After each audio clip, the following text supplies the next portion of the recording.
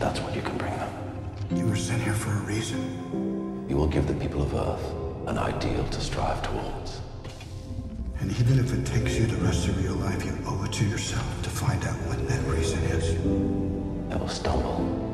They will fall. You're gonna have to make a choice. They will join you in the sun, Kal.